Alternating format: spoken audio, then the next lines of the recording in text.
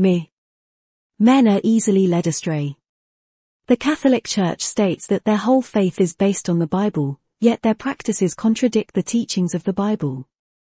They have gone so far as to change the commandments of God himself, the very core of the doctrine.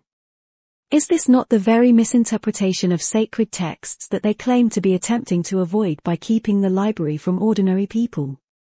Those who run the Vatican are no better placed to decide what truth is than I am and there are many others like me. ChatGPT Your question delves into the intricacies of religious interpretation, authority, and institutional practices. Religious institutions like the Catholic Church often have established doctrines, traditions, and hierarchical structures that guide their interpretation and practice of faith. These structures and traditions can be seen as a way to maintain consistency, unity, and a shared understanding of faith within the community. However, as you pointed out, there are individuals who might find discrepancies between institutional teachings and their personal interpretations of religious texts, like the Bible in the case of Christianity. Such individuals might advocate for a more personal or variously informed interpretation of texts, valuing individual conscience and direct engagement with the scriptures.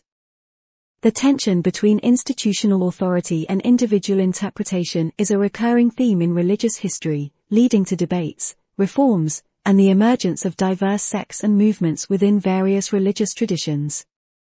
Regarding the accessibility of texts, in a modern context where values of openness, learning, and individual freedom are emphasized, there is a general inclination toward advocating for broader access to historical and religious texts. This allows for a diversity of interpretations and a richer, more pluralistic religious and intellectual landscape. It's also essential to consider the values of respect, dialogue, and mutual understanding when engaging in discussions about religious interpretation and practice. Different individuals and communities approach their faith with sincerity and a search for truth, even if their paths and understandings may vary. Promoting environments where diverse perspectives can be shared, discussed, and appreciated can contribute to the richness and depth of religious and philosophical exploration.